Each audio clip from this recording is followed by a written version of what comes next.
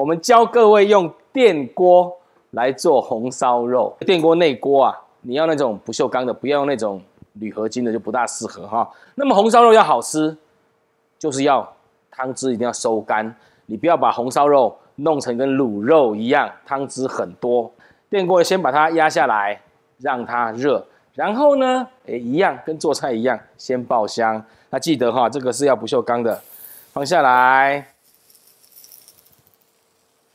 加一些油啊，跟其实跟做菜是一样的，但是电锅有个特别地方，就是它如果温度过高，它就会自己跳出来，它自己就会开关就会跳掉，所以里面要有东西，一直要维持着有东西。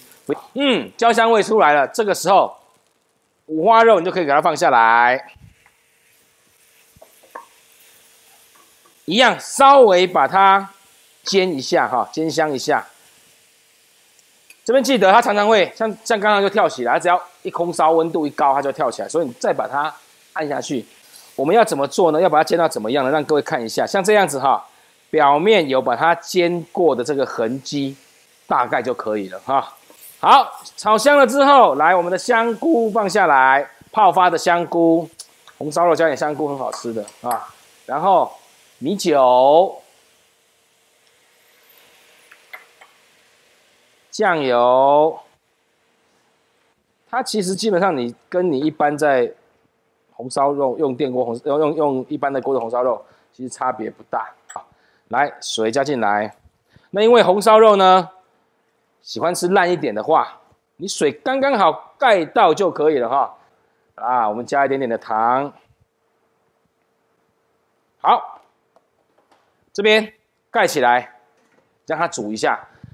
你不要等到它跳，你要煮到它自己跳起来，那肯定是太干，已经烧焦了。像这样子哈，十到十五分钟搅拌一下，记得你一定要搅拌一下哈，让它再干一点，那会更好吃。好，来，最后我们等一下，大概再等个三到五分钟，它就 OK 了哈。我们再等一下。好，来看一下，时间到了哈，听到哔哔哔哔的声音了，哇！表示它水分已经收干了，才会有这种油爆声。来看一下，收到汤汁这样整个干了哈。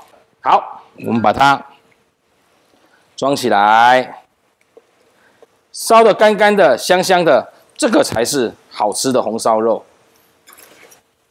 来，各位用电锅，你依旧可以烧出这么美味的红烧肉。一定要水分收干，煮出来。就是这么漂亮，就是这么的诱人好吃。今天教各位用电锅来做红烧肉。